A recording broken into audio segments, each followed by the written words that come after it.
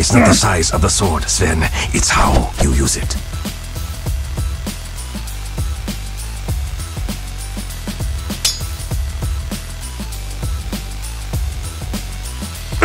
So you say.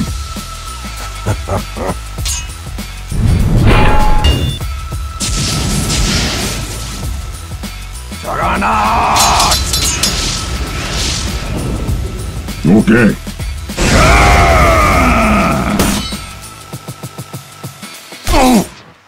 What's this? An expected outcome. Good night, Sin.